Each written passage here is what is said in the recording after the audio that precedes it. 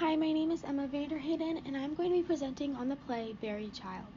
Buried Child is a play written by Sam Shepard. It premiered in 1978 in San Francisco, and a year later it won the Pulitzer Prize for Drama. Before describing the plot, I want to provide a brief description of all the characters so you can get a better understanding of them. First, we have Dodge, the patriarch of the family who is married to Haley. He's in his mid 70s and is a lazy, sick alcoholic who sits on the couch all day. Next, we have Haley. She is Dodge's 60 year old wife. Haley is very judgmental and nags her husband and is very mean to her children throughout the whole play. She is fairly religious, although she is having an affair with her pastor during the play. Third, we have Tilden. He is Haley and Dodge's oldest son, and he is in his late 40s. He has recently returned home at the time of the play from New Mexico. He used to be a great football player, but is now the subject of his family's judgment. Fourth, we have Bradley. He is Haley and Dodge's second son. He is in his early 40s. He lost his leg in a chainsaw accident when he was younger and now has a wooden leg. He is very aggressive and harsh, seemingly to make up for the emasculation of his lost leg. Fifth, we have Vince. He is Tilden's son and he is 22 years old. At the time of the play, he has not seen his family in six years. Then we have Shelley, Vince's 19 year old girlfriend. She seems skeptical about seeing Vince's family, but is very strong willed and opinionated throughout the play. Next, we have Father Dewis, who is a Protestant minister in his mid 60s and is having an affair with Haley. And last, we have Ansel, Haley and Dodge's youngest son. He dies before the play takes place, however, he is mentioned a couple times. So now that we have an idea of all the characters, let me set the stage. This play is set in the 1970s in an old farmhouse on failed land in Illinois.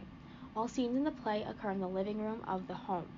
Entering the play, there is tension and a feeling that something has changed this family forever.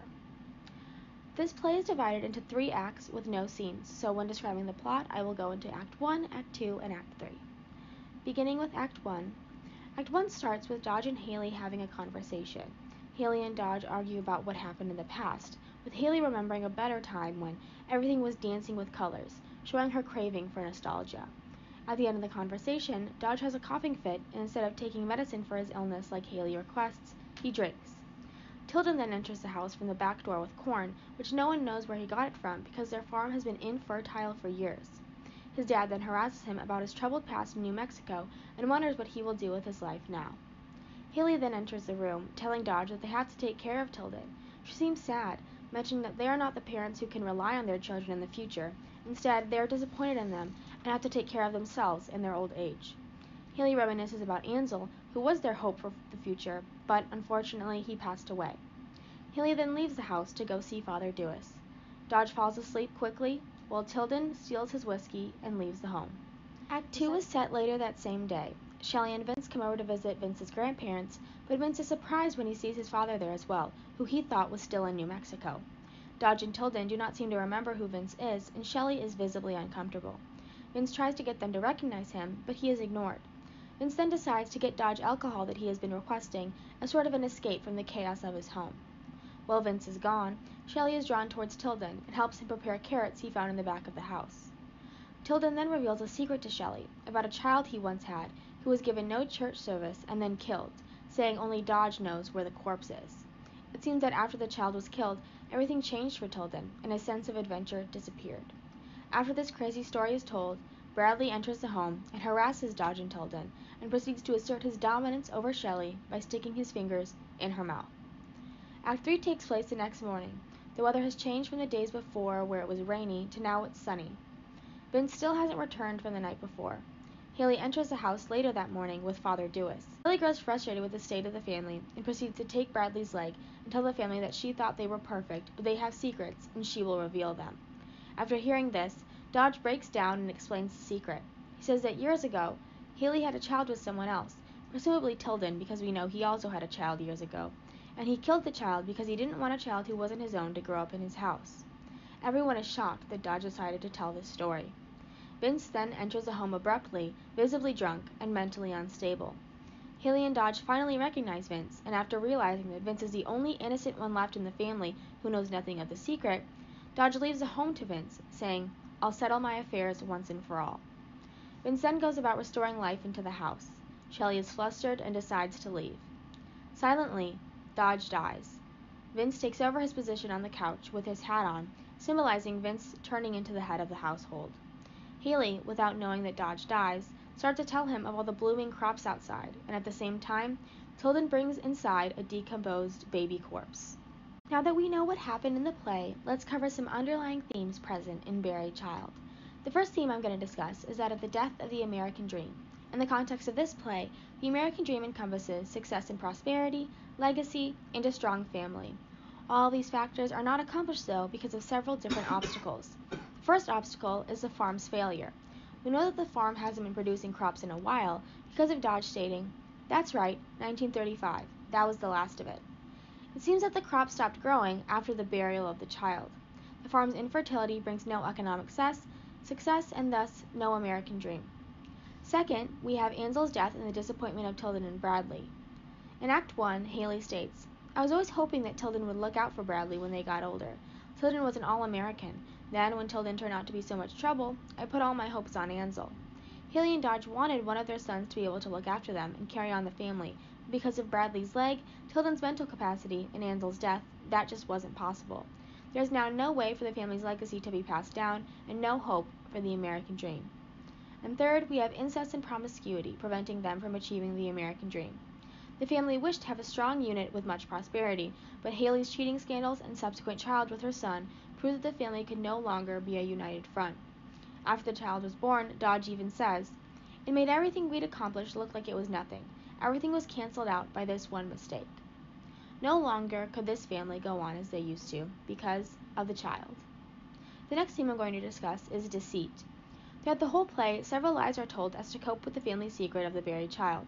The first lie is Dodge's drinking. Throughout the play, Dodge hides his drinking habits from his wife as to not rouse any suspicion. It is presumed that Dodge picked up drinking after the guilt and shame he received from killing the baby. The next lie that's told throughout the play is Haley's religion.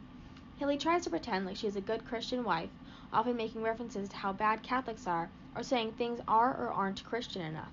However, this is all to hide from the fact that she had sex with her son and is currently cheating on her husband with her pastor. The third lie that is told to cope with a family secret is Ansel's legacy. Many times in the play, Haley makes a point to note what a hero Ansel was. However, the rest of the family doesn't seem to agree. This can be seen on page 18 when Tilden repeats, Ansel was a hero, after his mother talks greatly about her dead son. Haley wants to remember having one good family member to deal with the horrible secret that ruined the existing family members. The last theme is the importance of the past. There are two main ways that the past is discussed in Buried Child. First, the family's past secret weighs heavily on them throughout the whole play. This secret is what drives most of their actions, as we have seen from the last slide.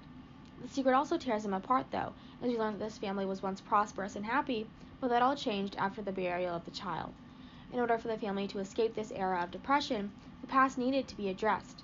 We can see this when after Dodge tells the family secret and Tilden buries up the dead body, Vince now owns the house, crops are going, and Dodge can finally die. The past is so important to the family that it must be absolved before they can move on. Second, the importance of the past is shown through Vince's character.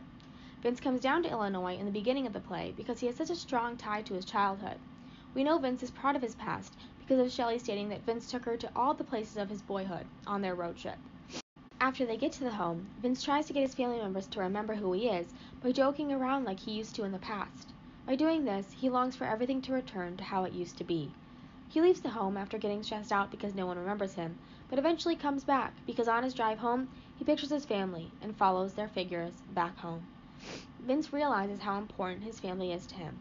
When he gets back home, he realizes that he is the only one capable of carrying on the family line, saying, I've got to carry on the line. It's in the blood. Vince takes over the home so that he can return the household to the state of normalcy he once enjoyed in the past. Now that I have addressed some themes in Buried Child, I'm going to discuss how Shepard's use of the American family unveils things about American identity in the 20th century that connect with other plays we've read this semester. First, I'm going to look at Shepard's portrayal of the American family. Buried Child represents the breakdown of the American family through the destruction of their family structure and values. Family faces the breakdown of their family structure because of the parents' ineffectual leadership. Dodge is supposed to be the patriarch, but instead he's a sick, lazy alcoholic with a struggling farm who has no success.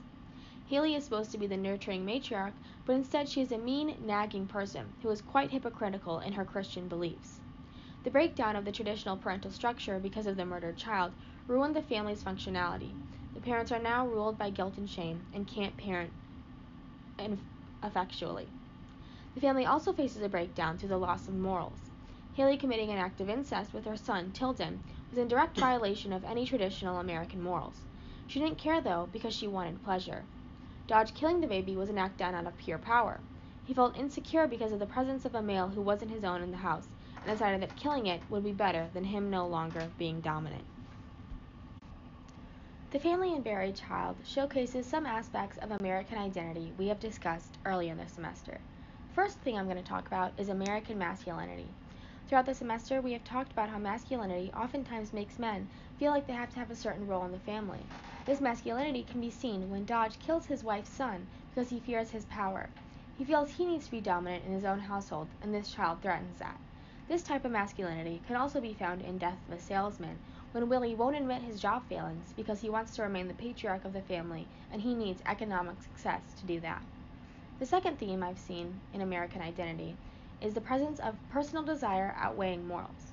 Oftentimes, people will act out of their own desires for pleasure and power rather than use their morals to make the right decision. This can be seen in Buried Child when Haley decides to have sex with Tilden for pleasure, despite her morals telling her that incest is unlawful. This same identity can be seen in The Hungry Woman, a Mexican Medea, when Medea decides to kill her son so that he does not turn out to be like his father, regardless of her morals telling her that killing is wrong. Last, there is the importance of nostalgia in the past in American identity.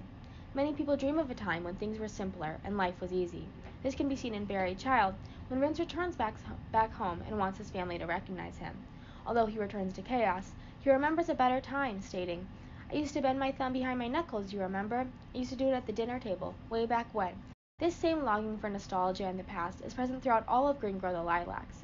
This play brings people back to a simpler time when everyone had a big house on their own plot of land and they could easily strive for the American dream.